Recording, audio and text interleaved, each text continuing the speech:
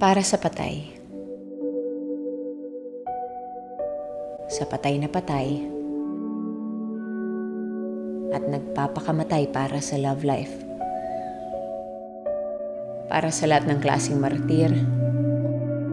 Oras na para mag-move on. So I, I started writing it in 2011. Uh, that time, I was in the point of my life wherein akala ko patay na ako. Ah, akala ko hindi na ako makakagawa ng, ng pelikula ulit kasi nalubog sa utang yung huli kong pelikula. And then uh, I was in a job na, na I couldn't have a creative outlet because I was so busy with the, the job. And uh, I was in a relationship na that was slowly dying. So yung feeling mo na para kang ng multo sa isang relasyon. So dun nagsimula yung idea.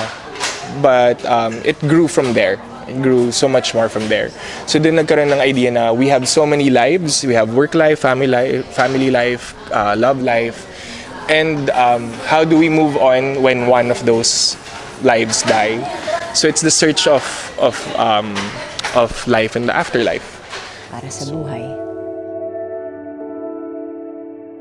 Habang buhay.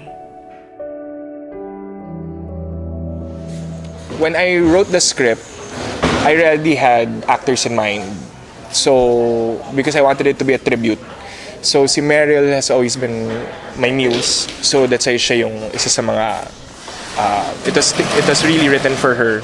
Uh, si si Richie Chan as the Anito Spirit. It was really written for for him because I, I was I was I am still a very big fan of him.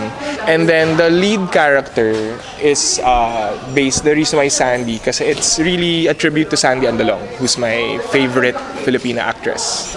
So inisip ko kung gagawa na lang ako ng pelikula, kung gagawa na lang ako ng script na hindi ko sure kung like if I were to do one last film for one last time or my last contribution to to Philippine cinema, di ba?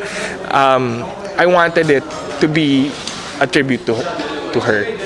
Uh, although we did try to talk to her, uh, she just came out from an operation, so she couldn't be part of the, the cast.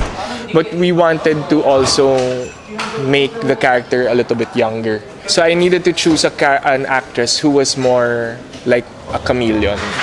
I would see Isa very differently in her different roles. So I felt that she was the the the, the best fit for the role. Sa patay na patay. At nagpapakamatay para sa love life.